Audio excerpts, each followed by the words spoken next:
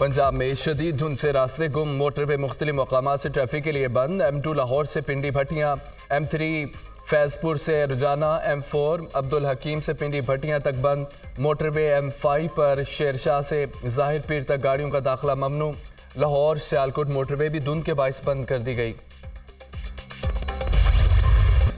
तहरीक इंसाफ की बल्ले का निशान वापस हासिल करने की कानूनी जंग। इंट्रा पार्टी इंतबात का लदम करार देने और बल्ले का निशान वापस के खिलाफ पी टी आई का पिशावर हाई कोर्ट से रुजू करने का फैसला। तहरीक इंसाफ की कानूनी टीम आज इलेक्शन कमीशन के फैसले के खिलाफ दरख्वास्त दायर करेगी। दरख्वास्त बैरिस्टर गोहर अली खान, बैरिस्टर अली ज़फ़र और शाह फैसल की जानब से दायर की जाएगी। दो रोज़ा छुट्टियों के बायस दरख्वास्त आज जमा कराने का फैसला किया गया। इकतदार में आकर सत्रह गैर ज़रूरी वजारतों को बंद करेंगे। उन वजारतों पर सालाना तीन सौ अरब रुपए खर्च होते हैं। पुराने सियासतदान माजी का हिस्सा है। नौजवान पाकिस्तान का मुस्तबिल है। तकसीम, नफरत और गालम गलोच की सियासत को खत्म करके मसाइल हल हो सकते हैं। हमने तारीखी महँगाई, गुर्बत और बेरोजगारी का मुकाबला करना है। रोटी, कपड़ा, मकान की माजी में इतनी ज़रूरत नहीं थी जितनी अब है।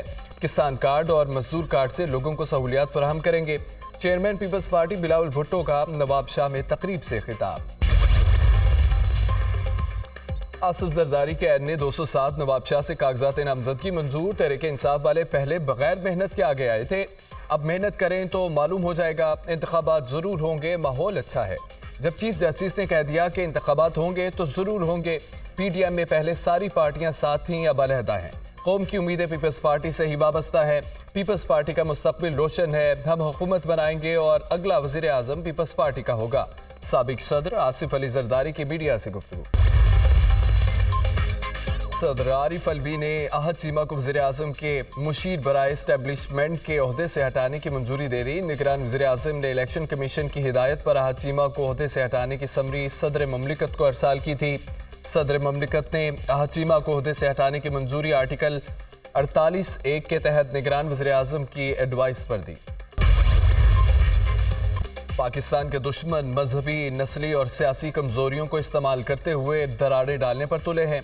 हमें एक पुराज़म और मज़बूत कौम के तौर पर उभरने के लिए मुतहद होकर यकजान होना पड़ेगा। इस्लाम हमें अमन दोस्ती का सबक सिखाता है।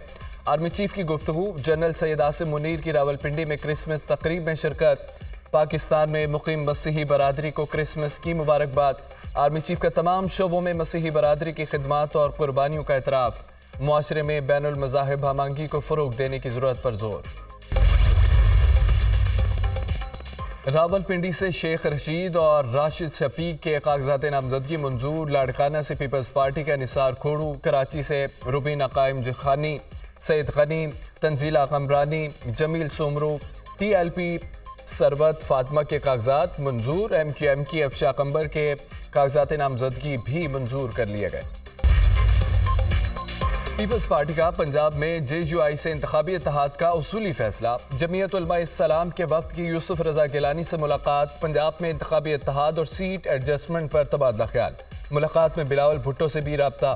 पी पी चेयरमैन ने सीट एडजस्टमेंट का मुकम्मल इख्तियार यूसुफ रजा गिलानी को दे दिया।